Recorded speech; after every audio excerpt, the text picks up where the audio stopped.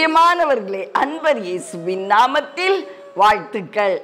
எண்ணகமும் இருபத்தி ஒன்றாம் அதிகாரம் ஐந்தாவது வசனத்தின் பின்பகுதி. இந்த அற்பமான உணவு எங்கள் மனதுக்கு வெறுப்பாயிருக்கிறது என்றார்கள். எந்த அற்பமான உணவு?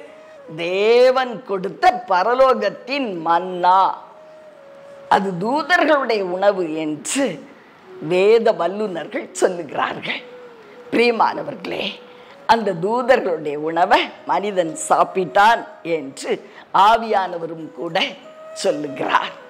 ஆதலால் அது எப்படி இருந்துச்சா இஸ்ரோவேல் ஜனங்களுக்கு? அவங்க மனசுக்கு வெறுப்பா இருந்ததா தேவன் கொடுக்கிற ஆசீர்வாதம் மனதுக்கு வெறுப்பா மாறும்போது நம்முடைய வாழ்க்கை கசப்பாகிவிடும்.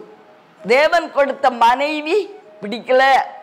மனதுக்கு வெறுப்பா இருக்கு. தேவன் கொடுத்த கணவன் மனதுக்கு வெறுப்பா இருக்கு. தேவன் கொடுத்த பிள்ளைகள் மனதுக்கு வெறுப்பா இருக்கு. அப்படி சொல்லலாமா? பிரியமானவர்களே இஸ்ரோவேல் ஜனங்கள் அறியாமல் இந்த வார்த்தையை சொல்லி மடிந்து போனார்கள். இல்லையா? அவங்க எப்படி சொல்லியிருக்கணும்? அப்பா நீர் கொடுத்த இந்த வான மன்னாவுக்காய் உமக்கு நன்றி. இன்னும் இதோடு கூட இறைச்சி உணவை எங்களுக்கு கூட்டி கொடுங்கப்பா. அப்படி சொல்லியிருந்தா ரெட்டிப்பான நன்மை பெற்றிருப்பாங்க. ஆனா அவங்க என்ன சொன்னாங்க? நீங்க கொடுக்கிற இந்த உணவு எங்களுக்கு வெறுப்பா இருக்கு. பிரியமானவர்களே நம்முடைய வார்த்தையில நாம் கவனம் உள்ளவர்களாய் காணப்படணும்.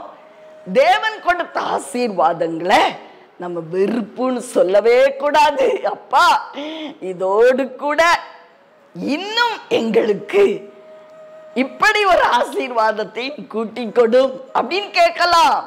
அப்ப ரெட்டிப்பான நன்மையால் நம்மை திருப்தியாக்குவார்.